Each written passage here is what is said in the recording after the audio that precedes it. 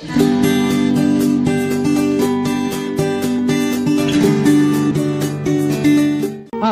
तेरे मेरे प्यार के चर्चे हर जबान पर। सबको मालूम है और सबको खबर हो गई। आजकल तेरे मेरे प्यार के चर्चे हर जबान पर। सबको मालूम है और सबको खबर हो गई। हो रहा है क्यों? महफूज मेरे दिल मशवरा मेरा तू आजमा के देख। यही उम्र है कर ले गलती से मिस्टेक